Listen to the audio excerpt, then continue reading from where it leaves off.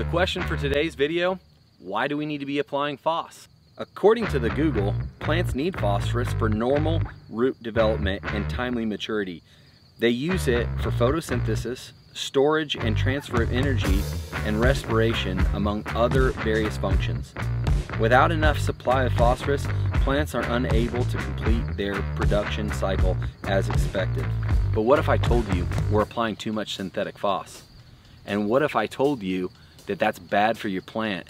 And even more importantly, you can save thousands of dollars by not even applying it. And that's the problem with phosphorus. And today, we're gonna show you how you can eliminate it.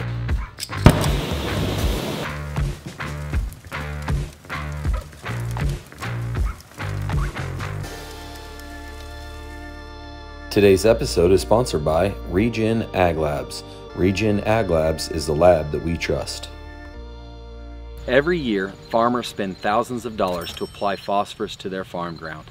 The sad thing is, is most of that is wasted because 80% and in some cases higher than 80% of phos gets tied up in our soils because it has a negative charge. So in our soils, phosphorus gets tied up to calcium and we end up not being able to use the majority of the phos that we put out there because it's not plant available once it gets tied up with calcium. So not only are you only able to use about 20% or less of the phosphorus you're applying to your ground, the 20% that your plant gets to use is bad for your plant.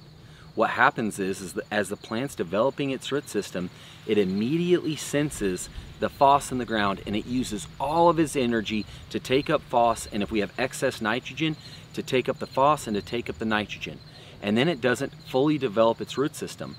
Well why is that bad the reason that's bad is because your plant needs to put out exudates and those exudates actually attract bacteria and fungus to bring the plant the micronutrients it needs to grow a healthy grain, fruit, or vegetable.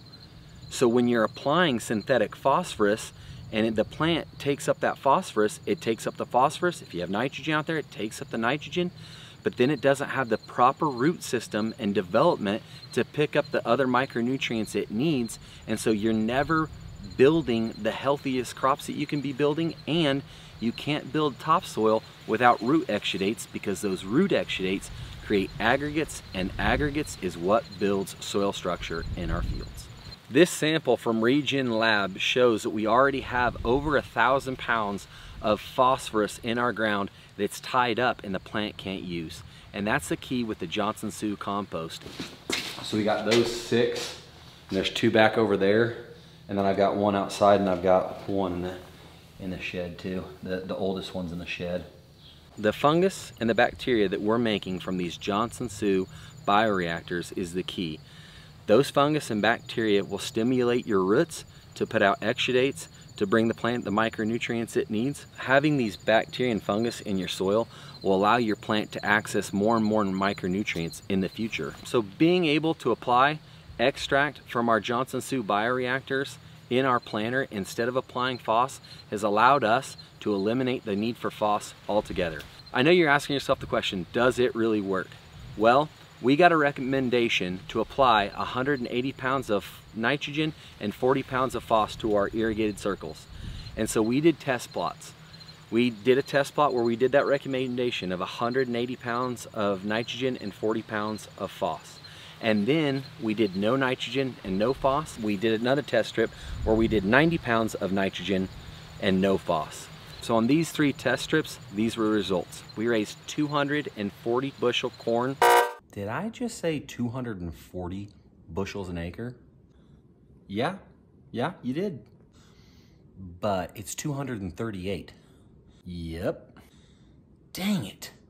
We're gonna have to reshoot the whole thing. You can't do that. You cut the field that you're standing in front of in the video last week for silage. Dude, what are we gonna do? Why don't you just put this clip of you talking to yourself in the video?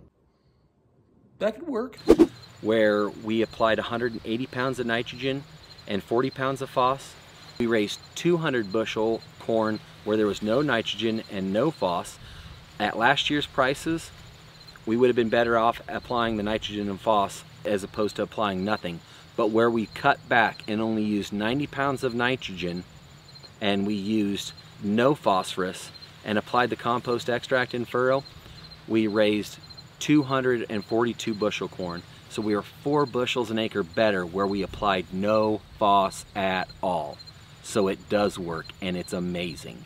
We're really excited about this Milo field. So last year this field was corn. The year before that it would have been wheat. So this year with our Milo, we applied only 40 pounds of nitrogen.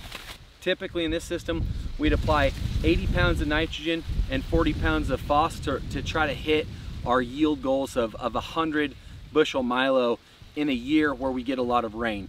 Right now we've cut back to 40 pounds of nitrogen and no phos.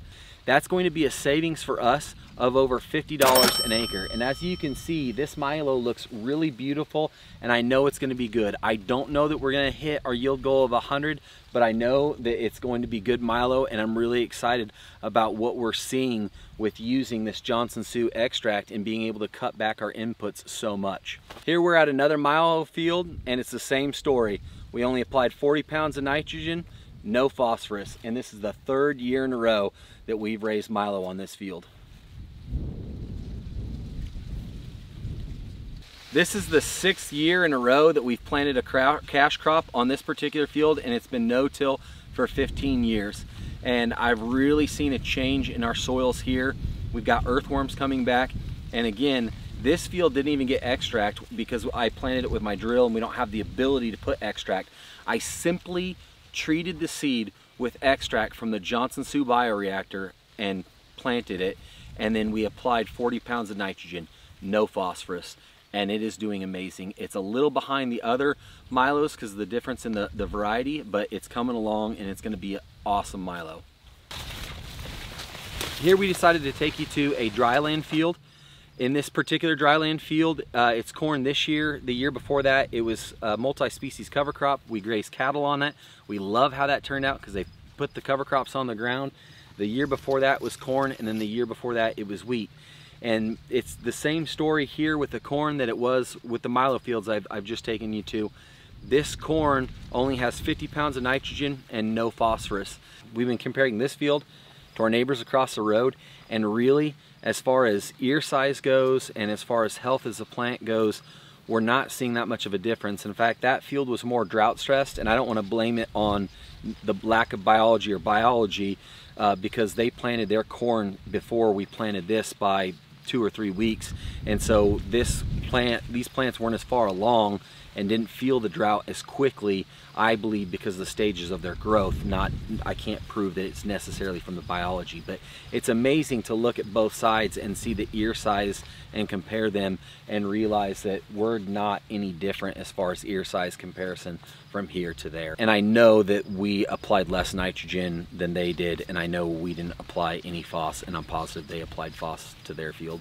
So by dad and I's calculations, we would have saved $120 an acre on our irrigated circles by eliminating phos and cutting back our nitrogen in half. That's huge savings for us, and I know farmers across America can see the same savings as that. Before you try to tell yourself that this is just a freak phenomenon, people across the United States are doing this. From Louisiana to Montana, New Mexico, and Arizona. My boys from Iowa, Kyle Schnell and Ryan Gibbs.